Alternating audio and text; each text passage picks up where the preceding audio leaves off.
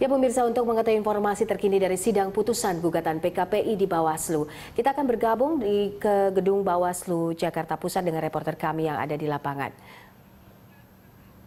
Dan memutus perkara aku oleh majelis persidangan.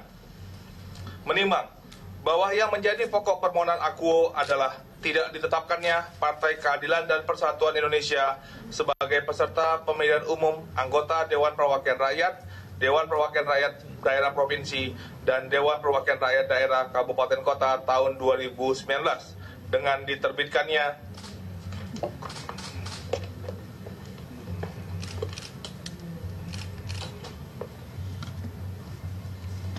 Keputusan Komisi Pemilihan Umum Republik Indonesia nomor 58 garing PL 011 KPPT 03 KPU 2 2018 tertanggal 17 Februari 2018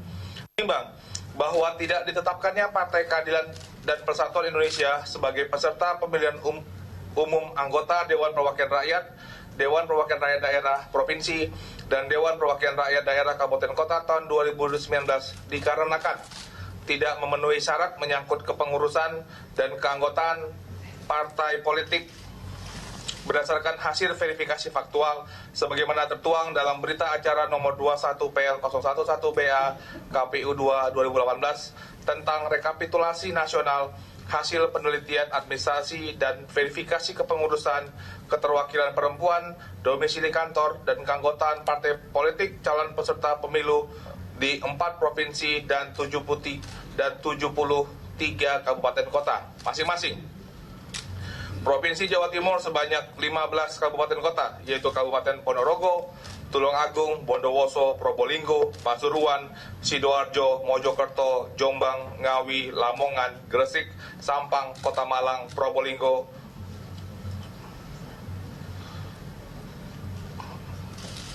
Probolinggo dan Mojokerto. Dua, Provinsi Jawa Tengah sebanyak 26 kabupaten kota, yaitu Kabupaten Cilacap, Purbalingga, Banjarnegara, Purworejo, Wonosobo, Bo Bo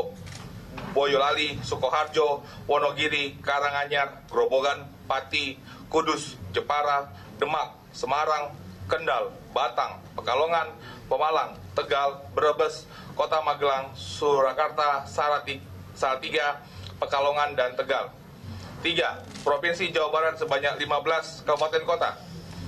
yaitu Kabupaten Cianjur, Bandung, Garut, Ciamis, Indramayu, Subang, Purwakarta, Karawang, Pangandaran, Kota Bogor, Sukabumi, Bandung, Bekasi, Tasikmalaya, dan Banjar. 4.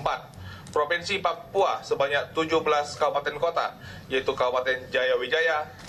Jayapura, Kepulauan Kepulauan Yapen, Biak, Numfor, Puncak Jaya, Kerom, Pegunungan Bintang, Yaukimo, Tolikara, Waropen, Mapi, Mambremo Raya, Mam, Mam, Tengah, Yalimo, Lani Jaya, Nunga, Intan Jaya. Menimbang bahwa pasal 173 ayat 2 huruf C, D, dan huruf F Undang-Undang Pemilu yang pada pokoknya menegaskan partai politik dapat menjadi peserta pemilu setelah memenuhi persyaratan memiliki kepengurusan di 75% jumlah kabupaten kota di provinsi yang bersangkutan memiliki kepengurusan di 50 jumlah kecamatan di kabupaten kota yang bersangkutan